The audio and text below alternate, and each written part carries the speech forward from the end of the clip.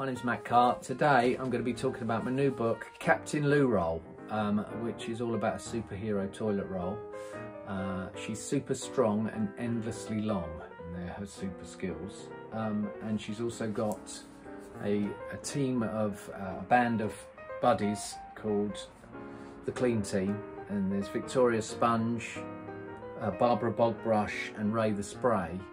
And, and together they in this book, Captain Looroll, they go on a, a, mission to save the world, pretty much. Um, the idea for Captain Looroll came to me when I looked at a toilet roll and I don't know why, but I just thought that bit looked a bit like a cape and and that's where the idea come, came from. Uh, pretty, pretty ridiculous really. Um, but as am I. So anyway, without further ado, uh, I am going to start reading the book now. So I hope you enjoy it.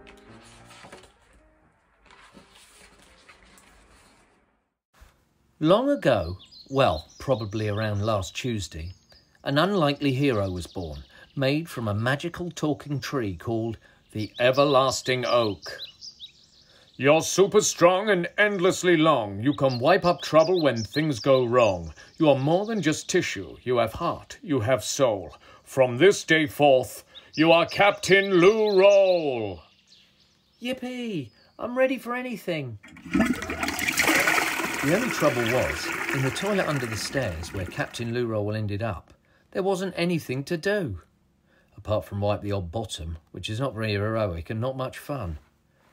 I'm fed up hanging around all day, said Captain Looroll to her friends, Ray the Spray, Victoria Sponge, and Barbara Bogbrush. We need a bit of adventure. Don't worry, Captain. Something's bound to happen. I can feel it in my water, said Victoria. You say that every day, Vic, chuckled Ray. But today Victoria was right. Something did happen. An emergency call came down the pipe from the upstairs bathroom. Calling Captain Loo! Calling Captain Loo! Please come quick, there's trouble in the toilet! Yikes. At last, a proper mission, cried Captain Looroll. Come on, clean team, we need to get to the bottom of this. Using Captain Looroll's super strength, they eventually made it to the top of the stairs and into the bathroom where something strange and slimy was swirling around in the toilet. Barbara's cousin Barry was very upset. It's too much for me brush and it just won't flush. What on earth was going on? Suddenly, something pungently pongy leapt out and landed on the seat with a splat. Hey, I used to be just like you until one day I fell down the loo. Now I'm free from the stinky bowl, for I am the mighty toilet troll. I'll make every bog roll just like me, soggy and disgusting. You wait and see. No one will be able to give their bum a wipe, and soon the whole world will smell pretty ripe. That's a ridiculously ambitious plan, said the captain. You won't get away with it, Toilet Troll. Oh, won't I? sneered Toilet Troll, leaping off the loo. The friends followed a trail of funky footprints which led straight to the shower. Looks like we got him cornered, Captain, said Ray. But when they pulled back the curtain... You're looking flash, Captain, chuckled Toilet Troll. You could do with a shower. Oh no, getting soggy would destroy Captain Looroll's superpowers. Ready, Captain? Toilet Troll grinned. Three, two, one. Don't worry, Captain. I've got you covered, cried Victoria, diving to the rescue. Splosh! Phew! Thanks, Vic, said Captain Looroll. Now come on, team. We need to catch that boggy bounder before he can do any more damage but it was too late. Look what he's done to the kid's bedroom, gasped Ray. Yippee!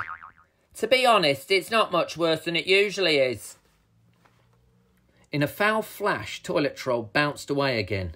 See you later, Captain Loser! Bump, bump, bump. Hey, this is fun. Captain Looroll and the team raced after him, but... Oh, Look at the kitchen, cried Vic. The family would be home any minute. We'd better get cleaning, gulped Ray. No time for that, yelled Captain Loo We're being bombarded. A stream of messy missiles was flying straight towards them. Pow, pow, pow. Who wants some poop corn? giggled Toilet Troll. Leave this to me, Captain, yelled Barbara. Whack! And she hit Toilet Troll for six. Take that, Eureka Rotter! The mucky mayhem was far from over. Toilet Troll had reached the fridge. Suddenly, the captain and her friends were engulfed in a bilious belch.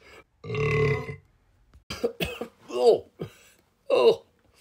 By the time Ray came to the rescue, Toilet Troll was gone.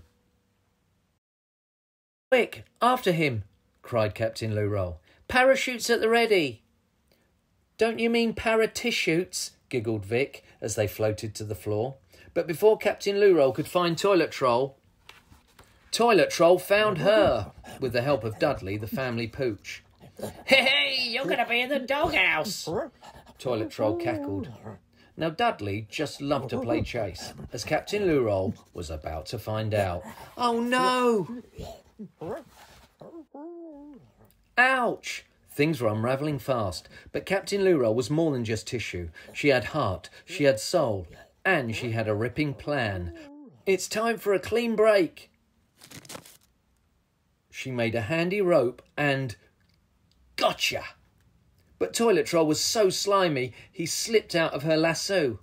Not so fast, cried Captain Loo She made a grab for her naughty nemesis and put the stinker in a spin. Oh, bother! Without his super soggy tissue, Toilet Troll had lost all of his pooey powers. Oh, how embarrassing! There was only one place for Toilet Troll to go now. Hopefully he'll get recycled into a better role model, chuckled the captain.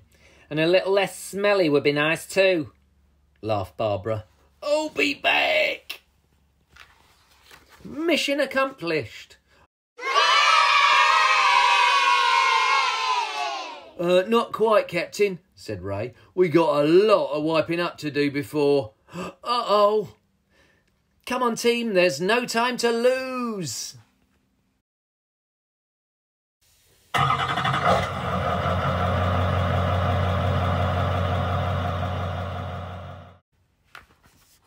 Captain Looroll had saved the day with help from her amazing chums. Until her next adventure, though, it was back to wiping bums.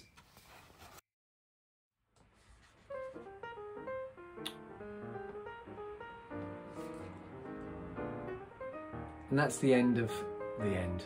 That's the end of Captain Looroll. Not the end of Captain Looroll. Uh, that's the end of that story. But there is a. I'm actually currently writing the next instalment of Captain Looroll, book number two, um, which hopefully will be out at some point in the in the near future. Um, so yeah, I hope you enjoyed it, and uh, thanks for watching.